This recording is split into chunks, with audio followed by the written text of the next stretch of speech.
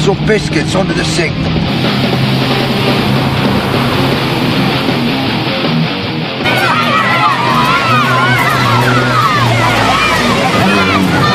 Out the way, you little bastard! Stitches 2012. Yeah, a clown movie here, killer clown. But this one is a little different. This one is a B movie. You know, you can tell it's low budget clown shit here, but they really go high with it. They set the bar high, and for me, they meet my clown standards, my killer clown standards, and beyond that. There's some really unique scenes here. This is a comedy horror here, so you're gonna get some laughs in there, some kills that are like out of this fucking world, and, and there's some that are out of this world, but they keep it uh, grounded too. So I like the film. Uh, the film kept me watching, and there's some uh, cinematography or some some production design that makes me feel like I don't know, not a comfort way, but more like this should be here. This is something I could relate to, uh, and that's that's what this movie did. Uh, a couple scenes. I can't believe I'm saying that about stitches. Uh, but anyway, I'm not gonna snitch on you. Snitches deserve stitches. Blah fucking blah. Don't give a shit. Uh, the Reel Rant Reviewer does recommend a one-time watch of Stitches if you're into clown fucking horror. This shit does succeed in bringing the heat.